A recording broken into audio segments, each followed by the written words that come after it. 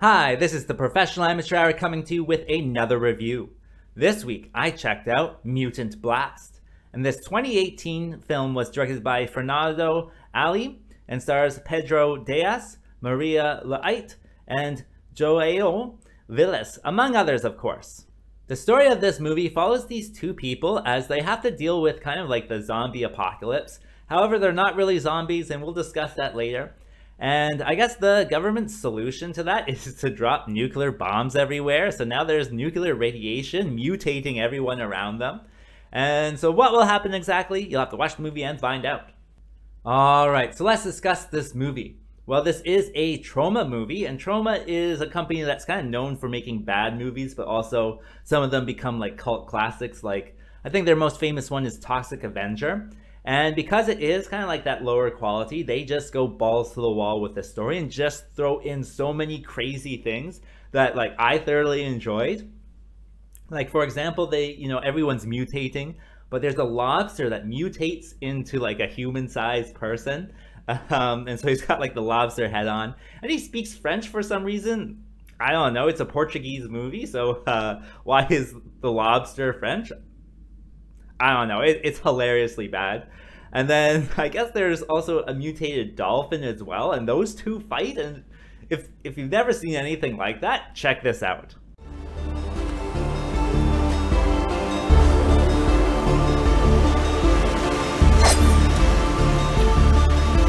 And there's so many other things too. Like there's this one guy, you know, everyone's mutating, and so there's this one guy who mutates a, a uh, uh, rat onto his hand, and it's like a, a, gross like transformation scene, but it's just like a rat puppet on his hand, and it's just so funny. So you know, check this out.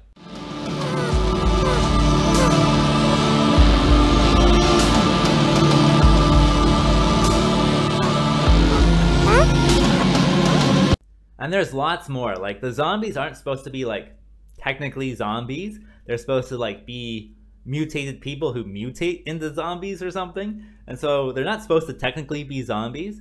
Um, but the characters, or at least in, in the post, uh, they decide never to say the word zombie, or at least they say it often, but then they just bleep it out all the time. And so it's a very odd choice. So, you know, check this out. Ok. Podes finalmente dizer-me o que é que está a passar? O que é que há? Foda-se, não são In addition, this movie does have this strange quality where all of the actors play two different roles, and usually, like, they'll play like themselves, and then they'll play like the antithesis of themselves.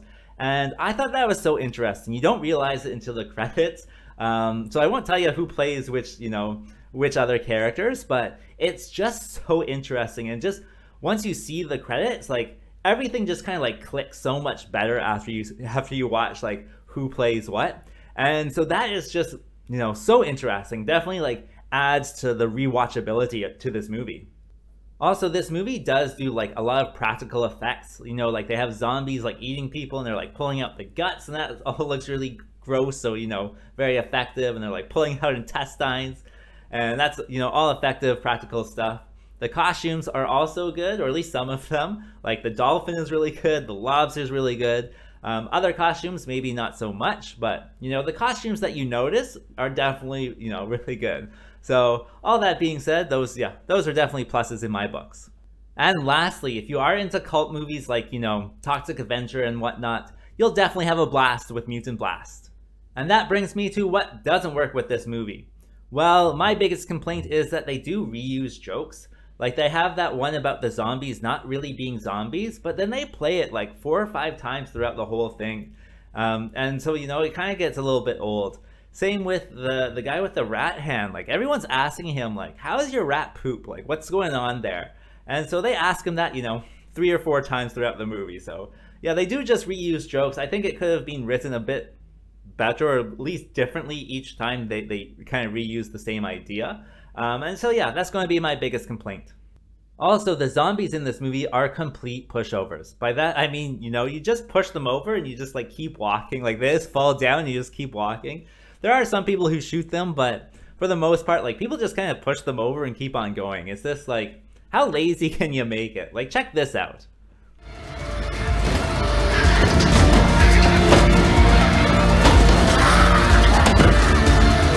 Other than that, you know, everything about this movie is pretty bad. Um, but it's one of those like so bad it's good type of movies. So if you're looking for anything good, definitely stay away from this one. But you know, that's where I get my enjoyment out of it. Oh, and fair warning, this one does have subtitles. It is a Portuguese movie with a little bit of French in, in there as well. And so if you're not really into reading subtitles, you know, this is not going to be your movie. I'm perfectly fine with it. So, you know, it is what it is. So who would I recommend this movie for? Well, I think if you're a bad movie enthusiast and you're looking for something that's, you know, balls to the wall crazy, then yeah, turn this one on. As for a rating, I'm going to give it the hilariously bad score of 3. However, I am also going to give it a shadow score of 6 on like, you know, the cult movie scale, because it is pretty good. And having said that, I think that's all I wanted to say, so like and subscribe and I'll see you next time.